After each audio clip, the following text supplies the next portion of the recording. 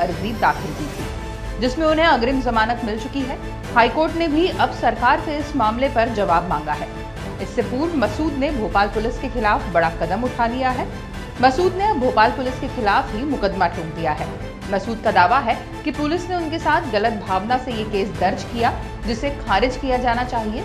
इसी मुकदमे पर अदालत ने राज्य सरकार को नोटिस जारी किया है और चार सप्ताह के भीतर जवाब भी मांगा है।